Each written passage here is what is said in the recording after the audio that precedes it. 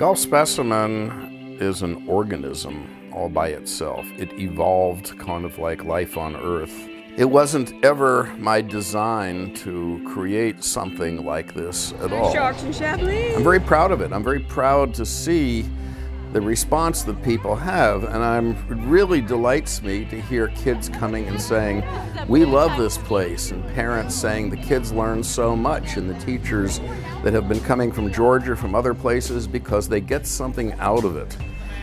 And it isn't my charming personality or anything else, it's that we're showcasing life. We're putting life out there.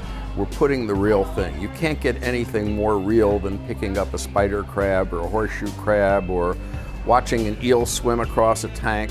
That's the really big asset of Gulf Specimen is we're able to bring these creatures to the public.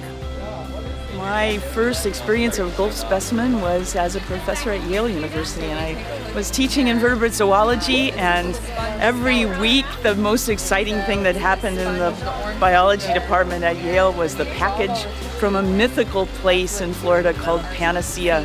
Sea squirts, sponges, all sorts of little crustaceans, baby octopus once.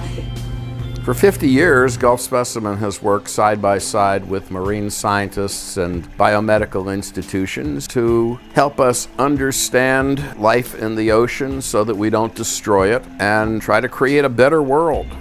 I've worked mostly for the last decade or so on deep sea corals, but I'm also interested in the beautiful shallow reefs we have out here offshore.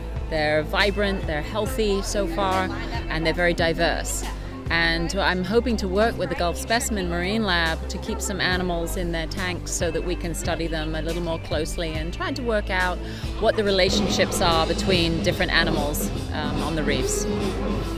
What I hope for the next 50 years is that Gulf Specimen continues. When I see the joy in the faces of the children as they pick up these creatures, the discovery that graduate students have as they're learning about sponges or other creatures and the wonders of life. I want that to stay there. This should not die with the founders. This should continue on into the future. That's why we hope someday we can get an endowment or serious funding, something to where the politicians catch up with the public who said hurrah for this and want to stand behind it and fund it. That's what we're hoping that will happen.